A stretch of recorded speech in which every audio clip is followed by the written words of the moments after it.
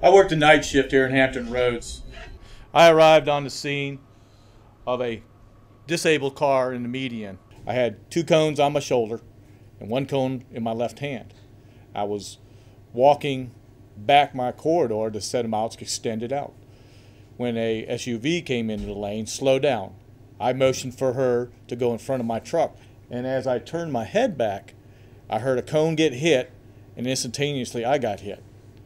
At first, I didn't know what went on. These cones went flying, my hand went flying. I did a 360 before I realized, hey, I just got hit.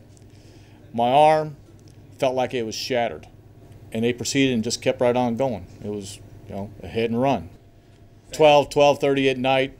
Uh, it was raining, and uh, it was the only thing I had left was was the, the driver's side mirror housing. Ripped it, hit me hard enough that it ripped it right out of the door.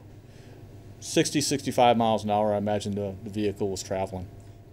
I, uh, of course, was taken to the hospital, had x rays done, make sure there was nothing broken. Um, instant swelling. The next three days, I held my arm and my wrist packed in ice to keep the swelling going up. Um, ultimately, what it ended up being is a really severe sprain.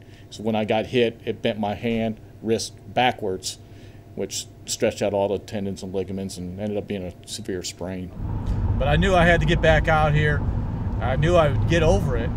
I was a little apprehensive the first couple of calls that I had once I started back to work.